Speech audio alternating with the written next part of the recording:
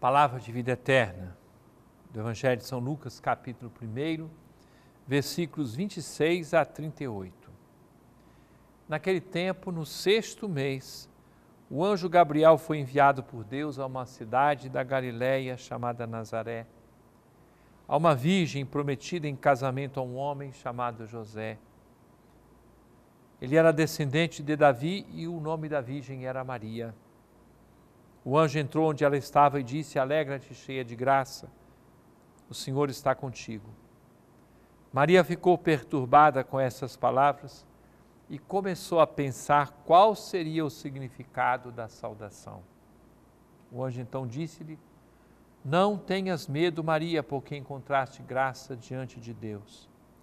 Eis que conceberás e darás à luz um filho, a quem porás o nome de Jesus ele será grande, será chamado Filho do Altíssimo, e o Senhor Deus lhe dará o trono de seu pai Davi.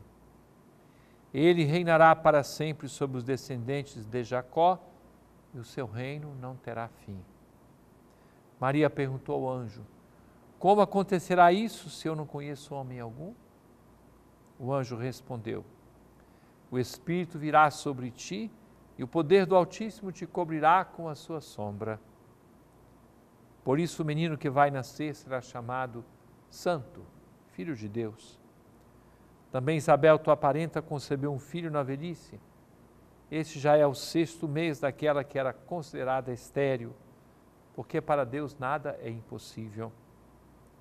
Maria então disse: Eis aqui a serva do Senhor, faça-se em mim segundo a tua palavra. E o anjo retirou-se. Querido irmão, querida irmã, hoje celebramos a solenidade da Imaculada Conceição. A inimizade entre a mulher e a sua descendência diante do inimigo mortal que é simbolizado pela serpente lá no livro do Gênesis, prometida acontece agora quando vem esta jovenzinha Maria chamada cheia de graça, concebida sem pecado, em previsão dos méritos de Cristo, a Virgem Maria é reconhecida e faz parte da fé professada pela Igreja, chamá-la Imaculada Conceição.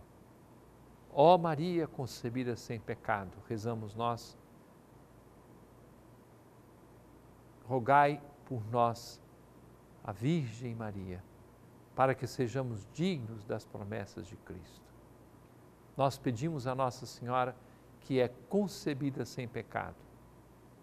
E nós suplicamos que esta mesma Virgem Maria, que viveu sem a mancha do pecado, nos ajude com seu exemplo e com a sua oração, para que nós, que não somos imaculados, caminhemos neste processo, neste caminho de tornar-nos imaculados no amor pela força da graça de Deus.